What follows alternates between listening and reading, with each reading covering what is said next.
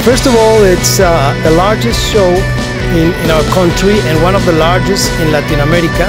Mexico being a country that has more than 25 free trade agreements with other countries, it's an excellent place to present solutions on plastic industry. ANIPAC is the Mexican Plastics Association, uh, involved around 4,400 companies in Mexico, with 85% for transformers and the rest of suppliers and recycling companies. We have a series machine.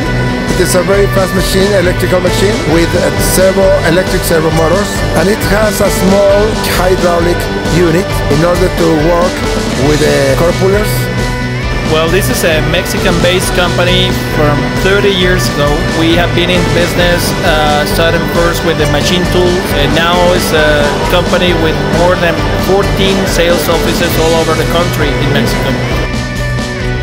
We choose the good service, good technology, good support, that the company has a long life making machinery, no?